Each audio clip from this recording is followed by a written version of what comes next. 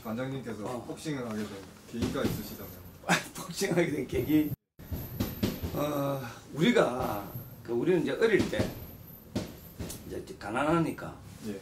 성공을 하기 위해서- 위해서는 복싱을 해야 돼요. 그래서 이제 복싱을 해야지만이 이제 우리 가난한 사람들은 성공을 할 수 있거든. 그래서 이제 복싱을 하게 됐고 어릴 때 초등학교 4학년 때부터 나는 세계 챔피언 돼가지고 우리 집안을 이렇게 세워야 된다. 이런 생각으로 이제 복싱을 시작했지. 시기가 그때 그 내가 이제 우리 중학교 때니까 몇 년, 몇 년이야? 그때가? 70년 되나? 중학교 때가. 64년생이니까. 64년생이니까. 70, 한 70년도 되겠네.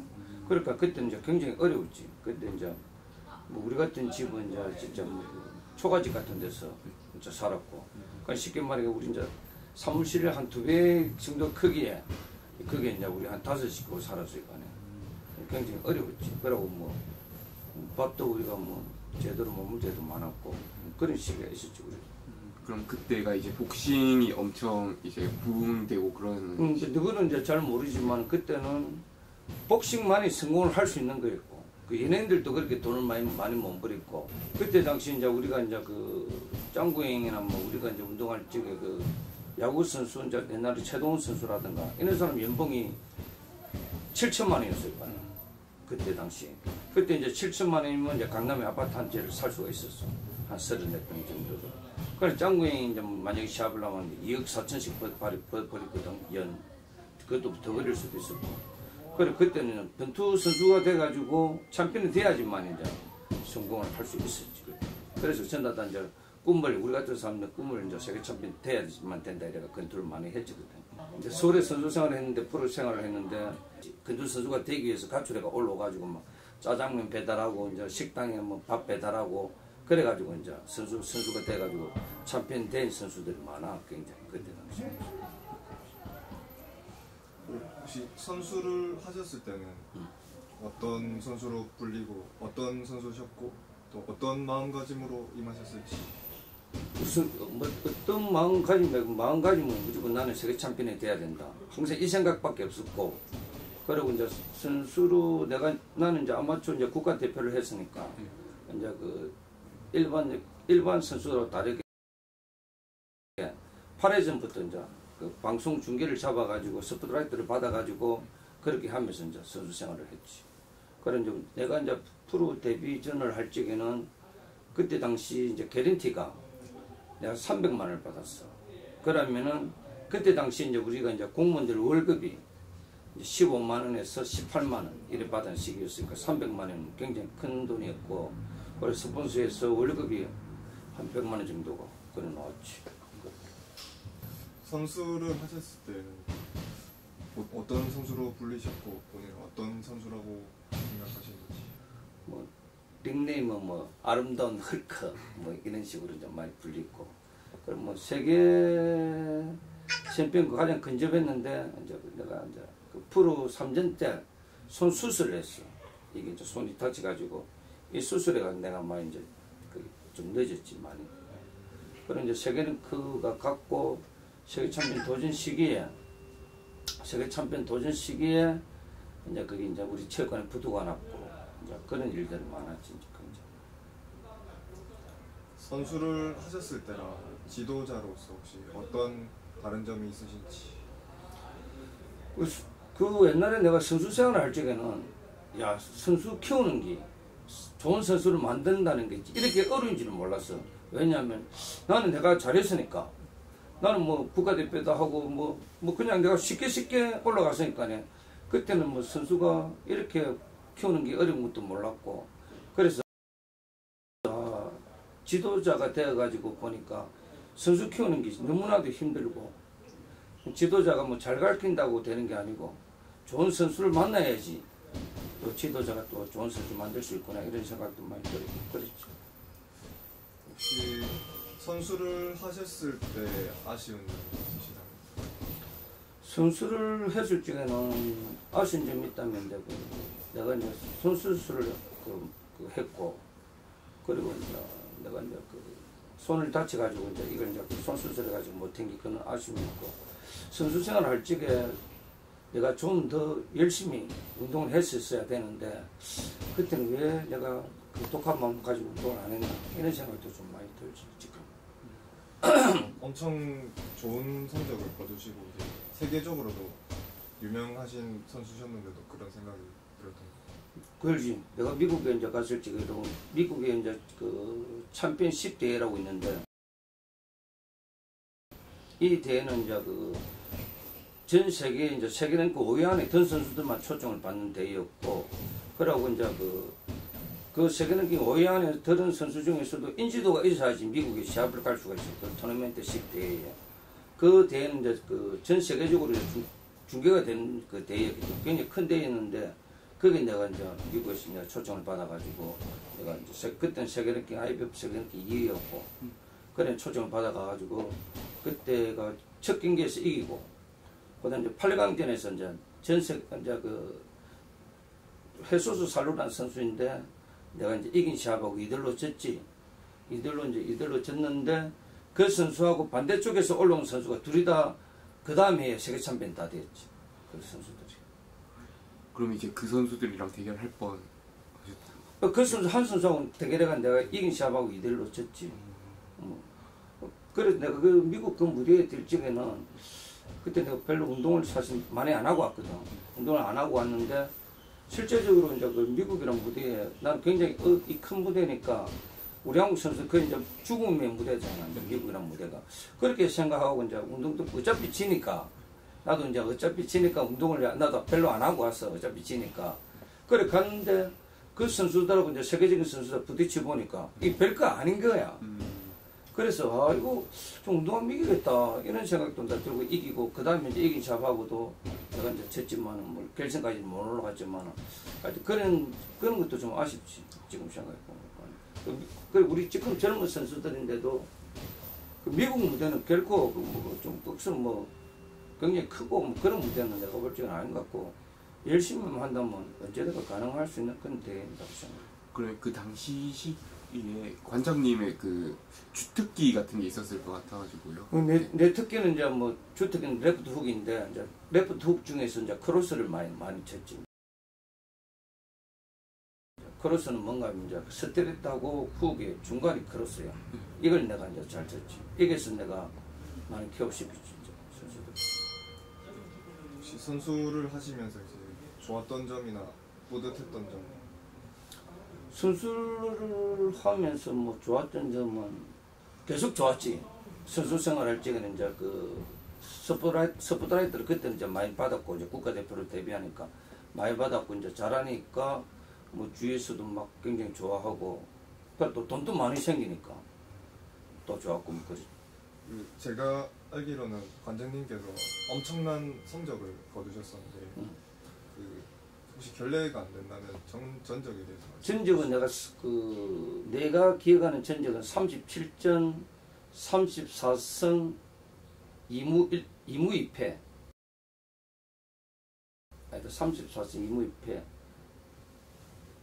33승이네. 그 37전 33승 2무 2패인데 이 2무는 하나는 이제 필리핀에서 내가 상대를 이제 큐어시키는데 그게 노게임이 됐어. 3회 안에 상대가 눈이 째지면 이제 노게임이 돼가 무판정이고 그 다음 1무는 미국 가가지고 처음 이제 미국 이제 멕시코 선수와 붙어가지고 10회전에서 이긴 샵하고 또 무승부.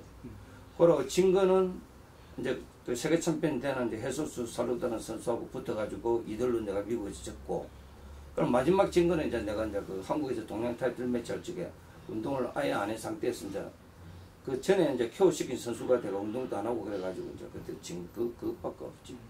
그러면 그 전에 이제 한국은 완전 재패하고 이제 세계 한국에서는 뭐 거의 뭐 접수가 없을 정도로 그렇지. 혹시 혹시 그 상대분 중에 가장 강했던 상대가? 가장 강했던 상대가 뭐, 뭐 가장 강했던 상대는 사실은 별로 없- 없고 없고 없는데 이제 그 좀 뭐 강했다 하면 이제 내가 졌으니까 이제 해소수 살로도 이제 전 세계 챔피언인데 그 선수밖에 없지. 그 선수도 뭐 그렇게 뭐 강한 선수는 아니었고. 내가 한 하면서 가장 기억에 남거나 좋은 경기가 있다면 어떤 경기고? 그 경기가 왜 좋았던 좋았었는지 혹시 말씀 주실 수 있어요? 가장 기억에 남을 때는 이제 그 프로 데뷔전 할 때하고 어 프로 데뷔전 할 때는 이제 내가 이제 처음 이제 그 아마추어에서 국가대표하고 이제 프로 넘어가니까 막 너무 스포트라이트를 많이 받고 뭐 신문이나 뭐 잡지나 방송에서도 막 나오고 이런 게 이제 너무나도 이제 좋았고. 그러고 이제 미국에 이제 그 미국 시합을 이제 갔을 적에 미국 시합에서 이제 이겼을 적에 그 미국이랑 뭐 나는 진다고 생각하고 갔는데 해보니까 아무것도 아니었다 해가지고 이제 이겼을 적에 그때 이제 미국 이제 그, 그 미국 한인 이제 교포분이나 교포 회장님부터가 전화도 와가지고 응원해주고 이제 그때 같이 이제 뭐 밥 먹고 뭐 그런 그때 이제 이겼을 적 그때 그때가 너무 좋았지 그때. 그걸 처음 시작할 때 두렵진 않으셨는지. 네. 요즘 선수들은 이제 모르겠는데 요즘 애들이나 뭐 선수들은 그런 거 모르겠는데 우리 때는 뭐 두렵거나 그런 건 없었고 무조건 우리는 뭐 성공을 하기 위해서는 뭐 챔피언이 돼야 된다거나 복싱을 해야지만이 그때 당시에는 무조건 복싱을 해야지만이 이제 이제 공부 우리 같은 사람들은 이제 성공할 수 있었던 게 복싱밖에 없었어. 뭐 두려움 그런 게 그런 거 없지. 뭐 링에 올라가 맞거나 뭐 그런 그런 게 뭐 두렵거나 그런데 그, 그런 건 전혀 없었고. 남자 뭐 밖에서도 사망할 수도 있고 뭐 때릴 수도 있고 그런 것이 그런 두려움은 없었고 우리 때는 무조건 챔피언이 돼야 된다. 어쩌든가 잘해가지고 챔피언이 돼야 된다. 그런 생각 보니까 상이 되게 많으신데 혹시 이 상을 조금 이따 좀 찍어 네. 하면서 가장 인상 깊었던 상이 혹시 있으신가요? 인상 깊은 이건 그거네 이게 이게 이제 그 기억에 남는 게 이게 세계 중에 이제 그, 그 1위 했을 때고 이거는 이제 김명복 박사를 초수 받았을 때인데 이 대회가 이제 세계 중에는 뭔가 하면 그 21살 밑으로 되는 이제 그, 그, 그 국가대표를 뽑는 대회야. 그때 이제 이게 내가 6전 전승으로 이제 우승했는데 이제 기억에 남는 게 이제 내가 아시아 주니어 그, 그 선수권 대회하고 세계 주니어 선수권 대회인데 내가 이게 이, 이 대회가 우승하면 나갈 수 있어. 그래서 내가 이제 나가야 되는데 두 개 다가 못 나갔어. 그 이제 이유는 뭔가 뭐 하나는 아시아 주니어는 이제 우리가 이제 국가대표 선수로서 이제 훈련을 열심히 하고 있는데 이제 샤- 운동이 다 끝나고 이제 단복하고 다 나와서 국가대표 단복이 하고 이제 선수 가방하고 슈즈하고 싹다 나왔는데 내일 모레면 이제 비행, 내일 모레면은 이제 외국으로 떠나. 만약 인도네시아면 인도네시아 떠나야 되는데 그때 이제 뭐, 그 무슨 일이 있었는가 하면 이틀 전에 그 대통령이 그때 그 아웅산 칼릭 아웅산 무슨 사건이 있었어 이제 그 이제 그뭐. 아웅산 어 그때 그 사건 이 터져가지고 이제 이, 이 시합이 뭐 뭐라는 거 취소가 됐고가 그래 이제 국가대표 못 갔고 왜냐 그거 그 대회에서 우승하면은 내가 군대를 안 가는 거야. 근데 우리가 가면 거기다 우승할 가능성이 굉장히 높은 대회예요 진짜. 우리가 아시아에서는 지금 우리가 아시아에서는 뭐 꼴찌지만은 옛날에 우리가 최고였단 말이야 우리 한국 복싱이. 그래 그랬던 데고 그러고 또 하나는 세계 선수권 대회는 내가 10월생인데 11월 달에 이 대회야. 그래 내가 한 살, 그, 한달 차이로 내가 이 대회를 못 나가고 내 이제, 내 이제 지나가 이제 이 대회를 나갔지. 이제 그런 기억이 남고. 김명국 박사가 이거는 이제 뭔가, 뭐, 이거는 이제 그, 그, 그 고등부, 대한민국 이제 고등부 중에서 최고 강한 샵이 고 김명국 박사배야. 여기서 내가 2년패를 했는데, 그 이 대회 우- 우승을 하면 대학을 직하고 싶은데 아무 데나 다 갔어, 그때 당시. 그럼 이 박, 김명국 박사배가 이제 장학금이, 장학금 그때, 그때 당시 30만 원인가 그때 나왔지 그때 거대에서 그래서 이제 이런 이, 이 대회고 이제 그래 그래서 이제 기억이 이제 많이 남지 이런 대회잖아.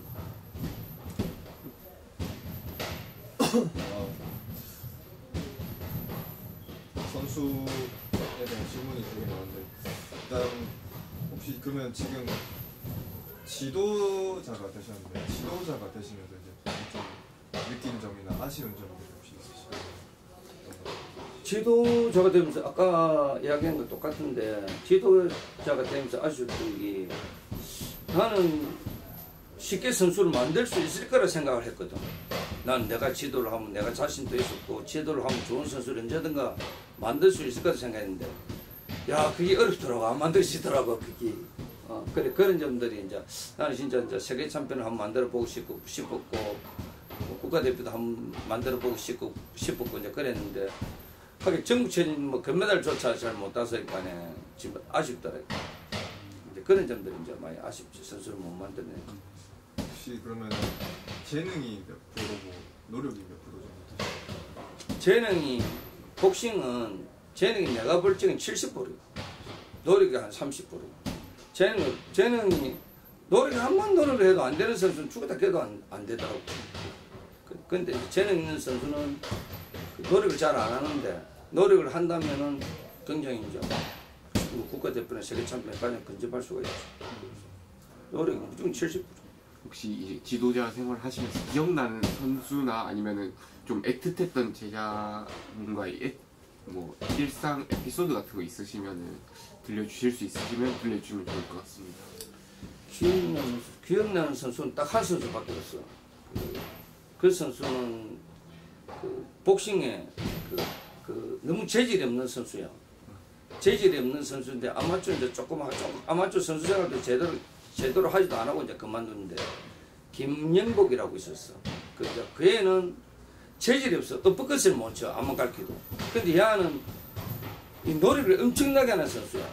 근데 이제 야는 이제 내가 완투를 치라고 하면 이 완투를 3시간, 4시간을 치는 난 내가 처음 봤어요. 이때가 지도를 하면서. 그런, 그런 이제 그 애가 이제 이제 경력이 그 아가 만약에 풀을 넘어갔다면은 진짜 뭐 동양 챔피언 정도는 안 됐을 다만 재질이 없어도 근데 손이 굉장히 많이 나오고 파워가 좋고 힘이 힘과 깡다구가 아마 내가 그 이때까지 그두 선수들 만나 프로고 아마추어 다 통틀어가 많이 만났지만 그런 선수는 나는 한 번도 본 적이 없어. 그 애가 이제 최고 기억나. 근데 그분은 이제 왜 프로 쪽으로 안 가시고 다른 쪽으로 가셨는지. 그거는 좀 이제 이제 뭐 좋게 말하면 3%가 조금 부족해.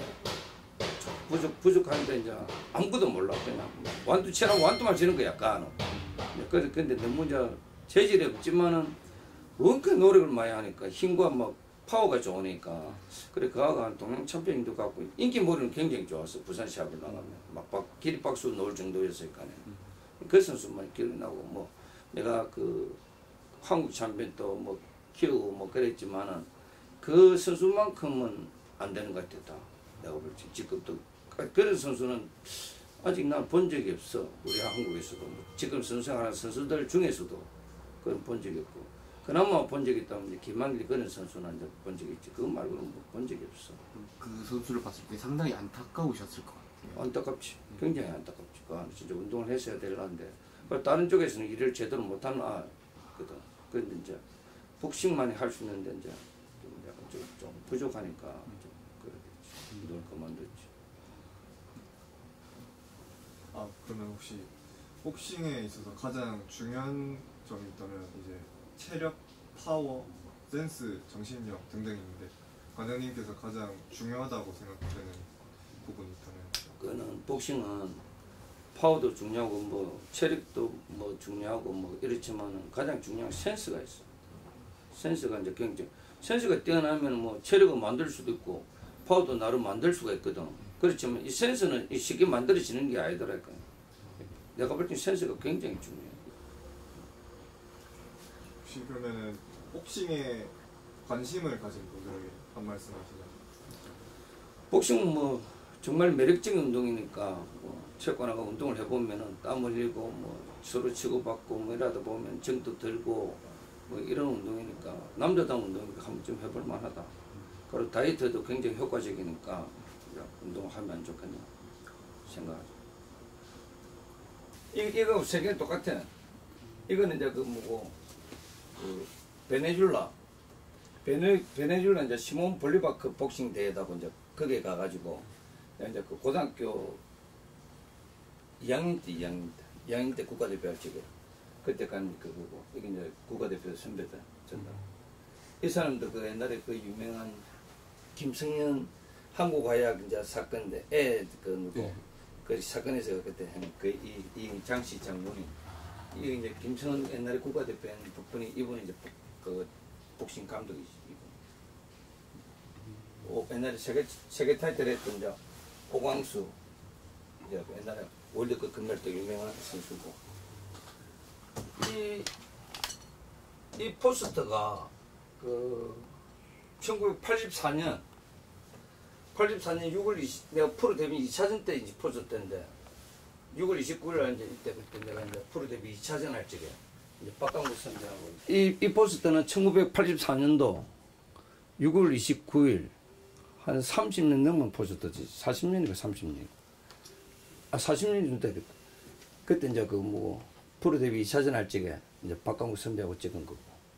이는 이제 기사는 이제 그뭐 50문 50답 이제 판치라인이라고 판치라인이라고 이제 복싱 기사가 있어 그 있었어. 그게 책에 나온 이제 50문 50답 결단식 할 적에.